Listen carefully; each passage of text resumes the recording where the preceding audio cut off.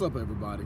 I wanted to come to you today, again, brief, because episode 18 is just an introduction to understanding there is a language that they use in court that most people are kind of sort of aware of, but not really. And it's Latin. They'll tell you that Latin is a dead language. And the reason being is because they don't want you to understand or fully understand how to assert and how to enforce those rights or how to even move the court properly. Because if you don't know Latin and they're speaking it around you, it's like being somewhere and there's a language that's being spoken that only you are not speaking or able to understand.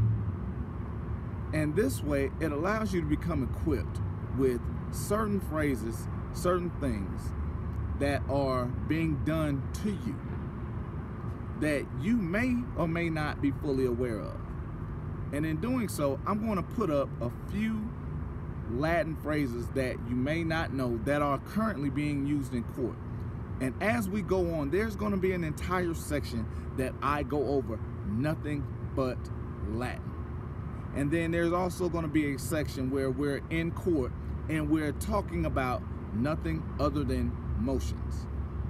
So again, understanding Latin is not dead if you ever end up in court because they're going to be using it. And the great part about that is a lot of the newer attorneys for the for you know lack of a better term or even police officers have very little knowledge if any of Latin being used or how to use it properly. So get ready for those and be ready for the next video. Until next time